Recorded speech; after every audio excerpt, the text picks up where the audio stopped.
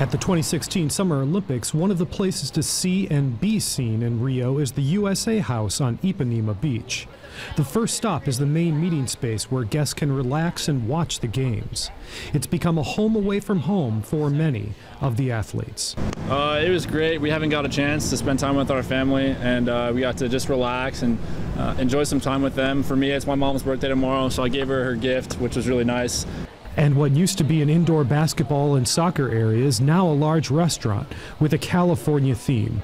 On staff are American and Brazilian chefs who serve up dishes of both cuisines.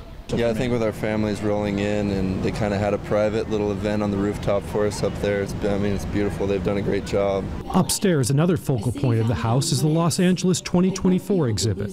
So you can deep dive into any one of these specific uh, venues if you want to learn a little bit more. So we'll go into downtown, and I'll show you uh, LA Coliseum.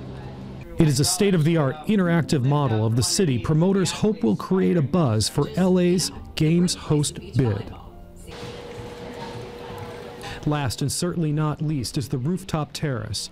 It's another chill out space converted into a lounge with spectacular views of the beach and ocean.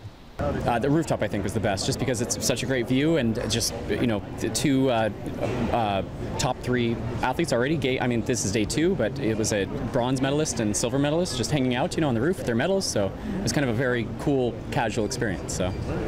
But the house isn't open to the public.